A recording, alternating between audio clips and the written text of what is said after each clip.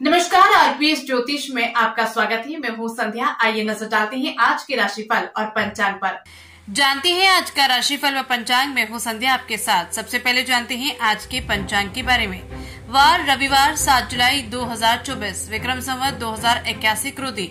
शक संवत उन्नीस सौ छियालीस पिंगल। सूर्योदय प्रातः पाँच बजकर उनतीस मिनट पर होगा। सूर्यास्त शाम सात बजकर तेईस मिनट पर होगा। आषाढ़ शुक्ल पक्ष तिथि द्वितीया, आठ जुलाई को प्रातः चार बजकर उनसाठ मिनट तक तत्पश्चात तृतीया। नक्षत्र पुष्य पूर्ण रात्रि तक। योग हर्षण, रात दो बजकर तेरह मिनट तक तत्पश्चात वज्र। सूर्य राशि, मिथुन राशि में विराजमान रहेंगे। चंद्र, कर्क राशि में विराजमान रहेंगे। अभिजीत मुहूर्त प्रातः ग्यारह बजकर अट्ठावन मिनट से तो बारह बजकर चौपन मिनट तक इस समय आप कोई भी शुभ कार्य प्रारंभ करेंगे तो वो निर्विघ्न संपन्न होगा।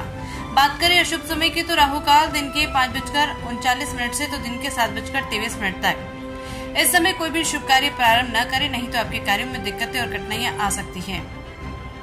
हो सकता है आपका कार्य सफल न हो, इसलिए इस समय को टाले, शुभ समय का इंतज़ार करें। ज्योतिषी परामर्श के लिए संपर्क करें रघुनाथ प्रसाद शास्त्री जी से, mobile number nine four five three triple five triple one पर रात्रि दस बजे से बारह बजे तक निशुल्क। आइए जानते हैं आज का संपूर्ण राशिफल। सबसे पहले बात करेंगे मेष राशि की। आज आपकी मुलाकात कुछ ऐसे लोगों से हो सकती है जो आपको अपनी सोच बदलने के लिए प्रेरित कर सकते हैं। भविष्य को लेकर आपके मन में जो डर है, उसके बारे में अपने दोस्तों से बात करें, कोई समाधान निकलेगा। वृषभ राशि। आज आपके अच्छे व्यवहार से आसपास के लोग प्रसन्न होंगे। साथ ही आपकी अच्छी छवि लोगों के सामने चमकेगी। समाज में आपकी उचित सम्मान और मान मिलेगा। ऑफ़िस का काम समय पर पूरा होगा। कुछ निजी काम भी किसी मित्र की मदद से पूरे होने की संभावना है। मिथुन राशि।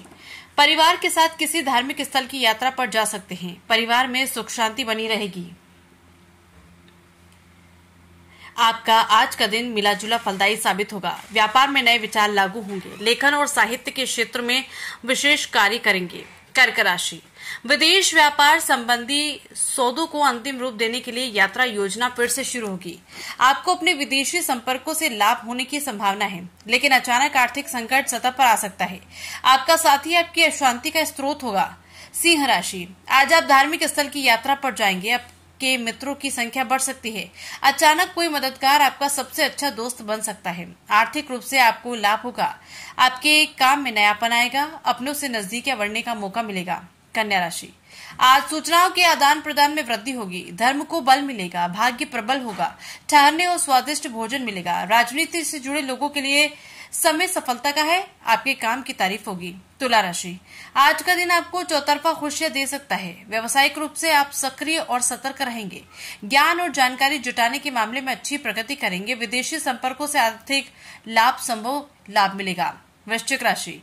आज नौकरी पेशा लोगों को कोई नया प्रोजेक्ट मिल सकता है। ये परियोजना आपके भविष्य में लाभान्वित करेगी। इस राशि के विज्ञान के छात्रों के लिए आज का दिन अच्छा रहने वाला है। कड़ी मेहनत के बल पर ही आपको करियर में सफलता मिलेगी।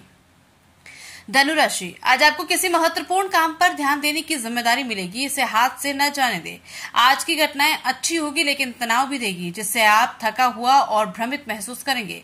आज अतीत के गलत निर्णय, मानसिक अशांति और कष्ट का कारण बनेंगे। मकर राशि।